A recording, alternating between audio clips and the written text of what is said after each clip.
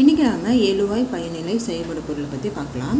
ஒரு தொடரில் யார் எது எவை என்னும் வினாக்களுக்கு விடையாக அமைவது எவை எழுவாய்ன்னு சொல்லலாம்.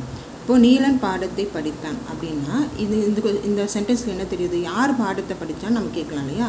அப்போ ஆன்சர் என்ன வரும்? நீலன் வரும். ஸோ இதுதான் எழுவாய். பாரி யார் அப்படின்னு சொல்லி கேட்குறாங்க. ஸோ நம்ம ஒரு கொஸ்டின் கேட்க யாருன்னு கேட்குறோம் இல்லையா? அப்போ அதுக்கு ஆன்சர் என்ன வரும்? ஒருத்தருடைய பெயர் வருது இல்லையா? அப்போது இவர் தான் எழுவாய். புலி ஒரு விலங்கு. எது? எதுன்னு கேட்குறா எது? ஒரு விலங்குன்னா எதுன்னு கேட்கும்போது புலி ஒரு விலங்குன்னு சொல்கிறோம் இல்லையா? ஸோ யார் எது எவைக்கு ஆன்சராக வரக்கூடியது வந்துட்டு எழுவாயாக இருக்கும்.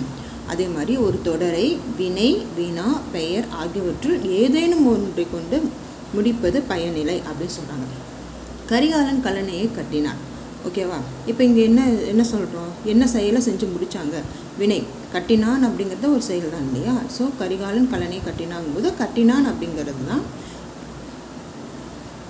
பயனிலை கரிகாலன் யார் அப்படின்னு கேட்கும்போது யா- யாருன்னு கேட்குறோம் ஓகேவா? இது என்ன? வினா. வினாவுக்கு விடையாக வர வருது இல்லையா? வினாவை கேட்குறாங்க இல்லையா? அப்போ இது வந்துட்டு ஒரு பயனிலை கரிகாலன் ஒரு மன்னன். ஓகேங்களா? மன்னன்னா என்ன? ஸோ ஒரு பெயர். இந்த இந்த கேள்விக்கான ஒரு ஆன்சரை யார் வருவாங்க? அந்த மன்னன் வருவார் இல்லையா? ஸோ அதனால் அது வந்துட்டு பயனிலை அடுத்த வந்துட்டு செயல்பட பொருள் செயல்பட பொருள்னா யார் எதை எவற்றை என்னும் வினாக்களுக்கு விடையாக வருவது. நான் கவிதையை படித்தேன். எதை படிக்கிறேன்? கவிதையை படிக்கிறேன்னு சொல்லுவோம் இல்லையா? அப்போது எதைக்கு ஆன்சராக வர்றதுனால நான் கவிதை படித்தபோது கவிதை அப்படிங்கிறது தான் செயல்படு பொருள் என் புத்தகத்தை எடுத்தது யார்? எதை எடுக்கிறாங்க? புத்தகத்தை எடுக்கிறாங்க. நெல்லிக்காயை தந்தவர் அதேமான். எதனை கொடுக்குறாங்க? யாரு?